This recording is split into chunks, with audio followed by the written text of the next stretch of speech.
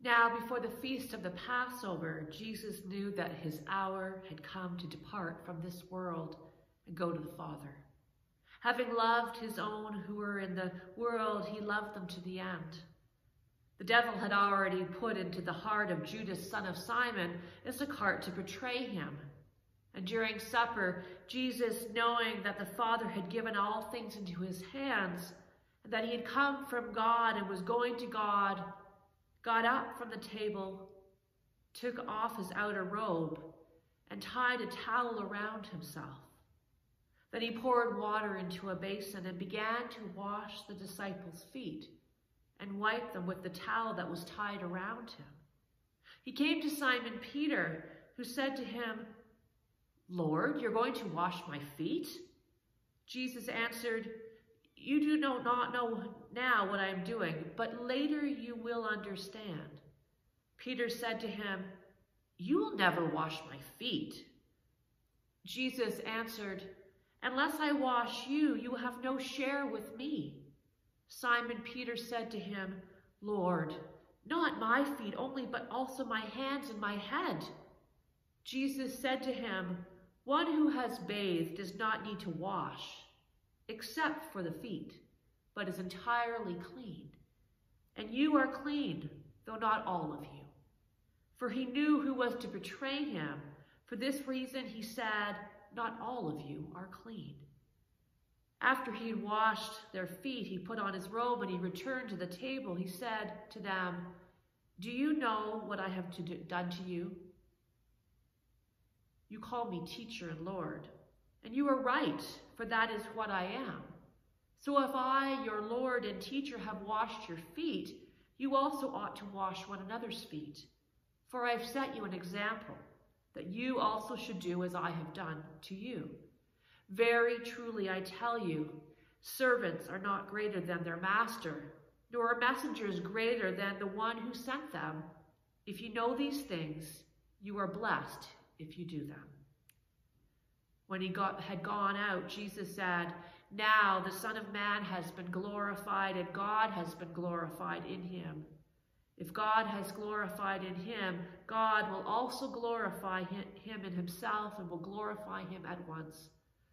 Little children, I am with you only a little longer, and you will look for me. And as I said to the Jews, so now I say to you, where I am going, you cannot come. I give you a new commandment, that you love one another, just as I have loved you. You also should love one another. By this everyone will know that you are my disciples, if you love one another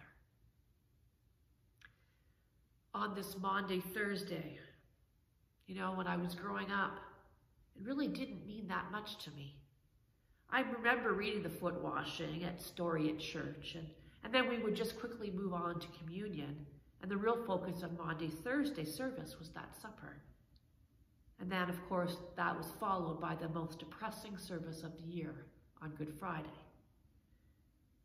I've often heard people explain that Jesus' foot washing of the disciples' feet is an account of that was transgressive and icky because feet were so dirty in those times due to the prevalence of walking with sandaled feet.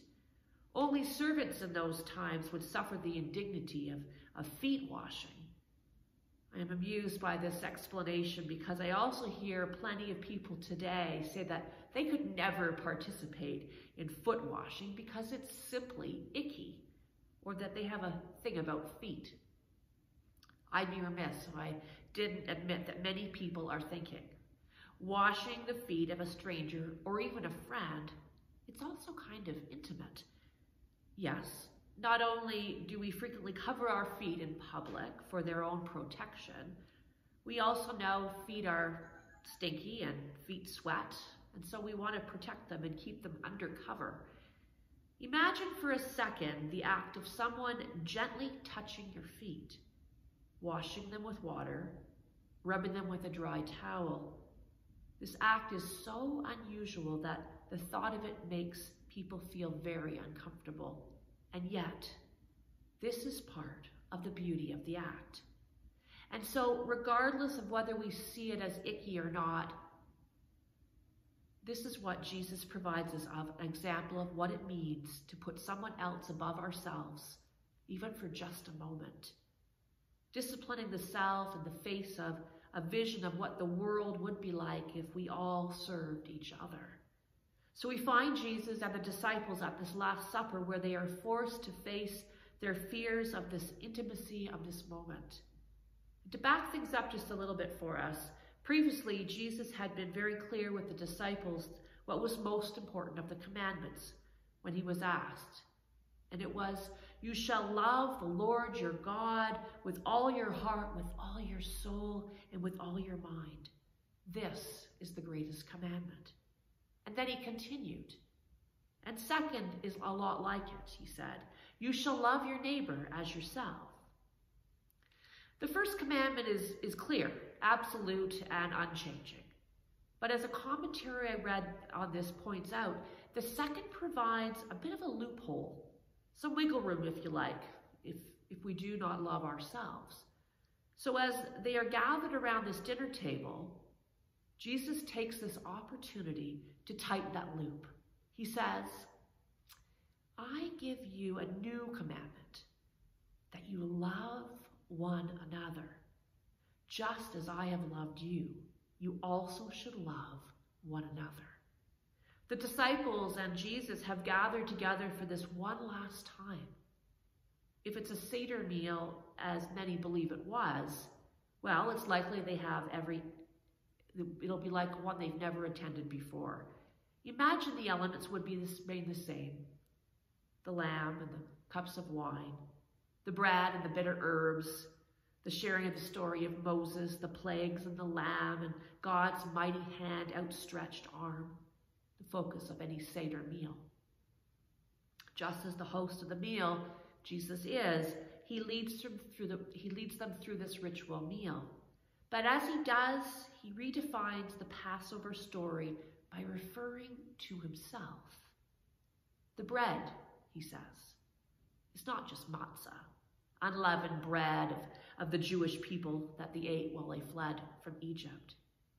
It is my body given for you, a sacrifice for your freedom. The wine you drink is not simply a sign of God's provision and life given for the earth. It is my blood poured out for you and for the many, a sign of provision given from my heart. And then comes the moment Jesus washes their feet. How surprised the disciples must be to witness their teacher take off his own outer garment, wrap a towel around his waist, pour water into a basin, and then kneel to wash their feet. It's not like Jesus has ever demanded admiration of any sort of, of, of hero worship from them in the past, but he certainly never demonstrated servant leadership in such a self deprecating way. Jesus is their teacher and leader. He has authority over those who choose to follow him. By donning the clothing and the persona of a servant, he exhibits a degree of humility that no doubt takes them off guard. If my favorite professor in seminary, someone I admired and respected, suddenly removed a professional blazer, and put on an apron, poured water in a pan, knelt down in front of my thong clad feet and proceeded to wash them, that would kind of freak me out. Someone whom I respected and who has authority over me should not be kneeling down in front of me. One by one, he washes their feet. Peter at first refuses, not because his feet aren't dirty, but because Jesus is their Lord, their teacher, the Holy One of God. This moment of intimacy with Jesus, well, it mortifies Peter. It appears that he takes great offense to Jesus even suggesting such a thing. It's almost as if he's saying, It is I who should wash your feet, and yet you want to wash mine? Jesus insists, however, as we heard in the reading, after Peter protests and does so with such grace. On this Maundy Thursday, the day that Jesus gave this new command, that you love one another. Just as I have loved you, you also should love one another. He was demonstrating to them that just as he had washed their feet, they should wash each other's feet because he had set them an example that they should be do as he had done. Through his act of humility and subsequent explanation, Jesus makes it clear that anyone who wants to be his disciple has to be willing to be served, even by those whom they revere. And most importantly, they have to be willing to serve one another just as Jesus serves them. Jesus may also be trying to instill the importance of humility. He wants to make sure that when he is no longer with his disciples, they will not waste valuable time and energy arguing and competing with one another for position, as they do in Luke's account of the Passover supper. Instead, he wants them to focus on carrying on the work he has begun by preaching and baptizing and healing and challenging the status quo. As writer Jan Richardson puts it, and I quote, Holy Thursday draws us to the table in the company of Jesus and the disciples as he begins to speak his final words on this side of dying. The disciples will not understand everything Jesus has to say, will not be able to comprehend fully the import of what he is telling them, but his words will sear themselves into their hearts nonetheless. These are the words that will return to the disciples later in that bewildering time known as after. These are the words that will comfort them and also stir their courage for the path that waits for them still.